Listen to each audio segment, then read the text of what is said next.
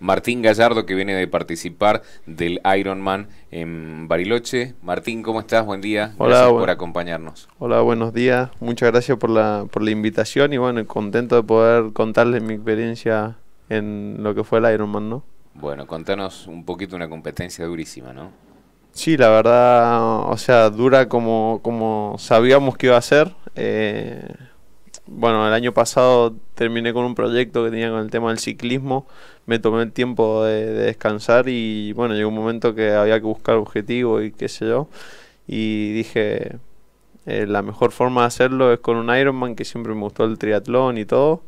Eh, hablé con Miguel Jiménez, eh, que es profesor de triatlón, y me dijo que, bueno, que él me daba una mano para, para entrenar, que no sé qué, que iba a estar difícil, pero que, bueno, íbamos a llegar. En un primer momento el objetivo fue llegar. Mucha gente me decía que me había elegido el Ironman más difícil para, para correr por el tema del desnivel, el frío y tal. Eh, pero bueno, siempre con Miguel estuvimos convencidos que lo iba a poder hacer, de que iba a llegar y ese fue el objetivo con el que comencé la carrera, ¿no? Con el objetivo de llegar, pasarla bien y disfrutar de lo que sería mi primer Ironman y mi segundo triatlón en mi vida, ¿no? Seguro. Eh, vamos a graficarle a la gente que nos esté escuchando. Son 1900 metros de natación. ¿eh? Esto en el Lago Moreno. Después se vienen 90 kilómetros de ciclismo. Eh, ¿Es ciclismo de montaña? Es ciclismo de ruta, pero bueno, con las características del ciclismo de montaña, ya que tiene 1200 de desnivel en los 90 kilómetros. Y para que se den una idea, ir al Valle Grande y volver son 300 metros de desnivel. Claro. O sea que es como cuatro veces el desnivel que hay para el Valle Grande. Y después 21 kilómetros de pedestrismo. Como para rematar una media maratón. para el postre. ¿Y qué te resultó en tu experiencia lo más duro, a lo mejor, de esas tres? Mira, la verdad que como más duro no, no se me hizo nada. O sea, todo, fueron, todo fue difícil. La natación siempre me costó. De hecho, empecé a nadar hace muy poco y no tengo la cultura de ir a nadar 3.000 metros así como para entrenar. Eh, me cuesta realmente entrenar la natación y le tenía mucho miedo por el tema también del frío. Pero estaba en una competencia de esa magnitud y la alegría de estar ahí y todo, se hizo que fueron 2.050 metros al final y se me pasaron como, como nada. Eh, salí a la bici, sabía que era lo mío, iba contento. Eh, llegaba a la subida, la verdad que muy, muy bien me sentía. Ahí avancé mucho y ya me quedaba solo correr. Si bien a correr 21 kilómetros, pero bueno, no, pensaba en la distancia, sino que ya me quedaba una sola cosa. Ya tenía el 70, tenías que llegar. Ya tenía el 60% de la carrera adentro. Y, y bueno, después corriendo, pasás por todos los estados, casi. Claro casi que, o sea, en 21 kilómetros corriendo te acalambras, te sentís bien, te sentís cansado, te sentís que ya no querés más, te sentís que, que venís re bien. Los últimos 3 kilómetros lo terminé corriendo a 3.33 por ahí, o sea, muy bien. Y nada, una vez que se termina, decir, fueron 5 horas, pero 5 horas en las que pasé por todos los estados, como digo, y, y no, no sentís que algo fue más duro que otro, ¿no? Todo tuvo lo, lo suyo y en todas las etapas, en todas las disciplinas tuviste tus momentos. ¿Qué, eh, ¿qué sentiste cuando, bueno, eh, viste que habías llegado tercero porque saliste tercero en tu categoría, ¿no?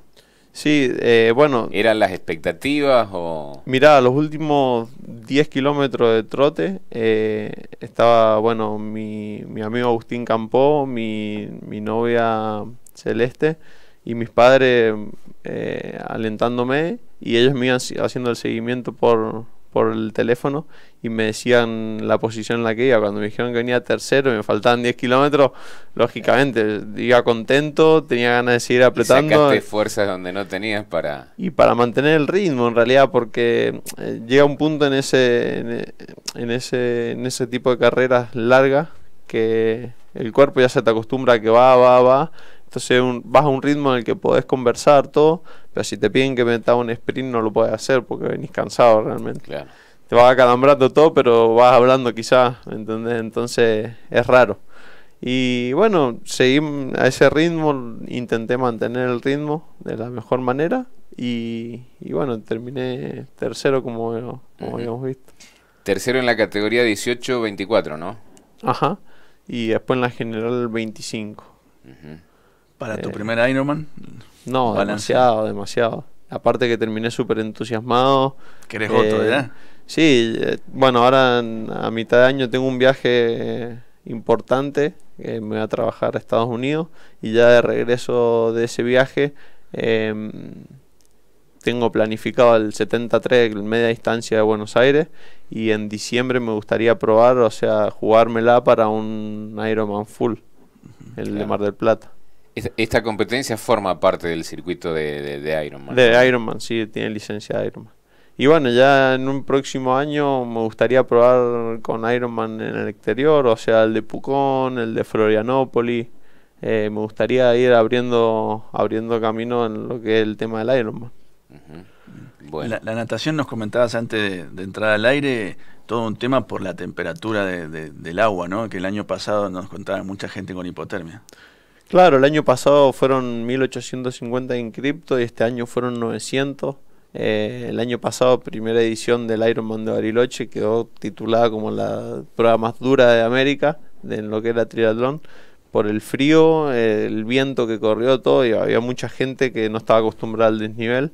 Entonces, bueno, se redujo mucho la cantidad de personas. Este año eh, el gran dilema de la carrera era la temperatura del agua, pero la verdad que nos tocó un día muy lindo, 24 grados, y el agua, si bien estaba fría, estaba a 12 grados era frío, pero para los primeros metros y ya una vez que entraba en ritmo de competencia te olvidabas, ¿no?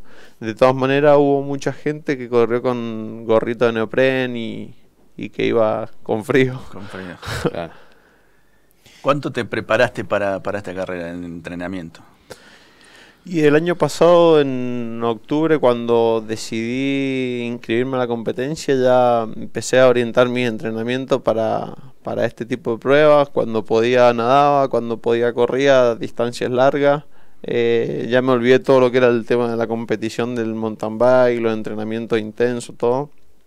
Y cada vez que encontraba un hueco para salir a entrenar, lo hacía todo más orientado, digamos, al, al triatlón, ¿no? Eh, una planificación estricta no llevé, lo íbamos conversando con Miguel, eh, qué es lo que podía hacer hoy, qué es lo que podía hacer mañana, eh, intentando organizarme, pero también teniendo en cuenta que era mi primer año eh, comenzando con el trabajo, ¿no? Entonces también había que poner en la balanza lo que se podía hacer y lo que no. Después nos contabas que después de la carrera volviste directamente a trabajar toda la noche. sí, a las 7 de la tarde fue la entrega de premio y a las 8 y media estábamos en viaje ya, manejando mi padre casi todo el viaje y bueno, yo ayudándolo en los momentos que podía y a las 8 y media de la mañana ya trabajando dándole. Pero bueno, un balance sumamente positivo. Sí, no, más vale, llegué muy contento y, y como decía recién, con ganas de más, ¿no? Bueno, muy bien. Martín, te agradecemos la visita. Ha sido muy, muy gentil en acercarte a charlar con nosotros. Bueno, muchísimas gracias por la invitación y espero que sigamos sumando alegrías.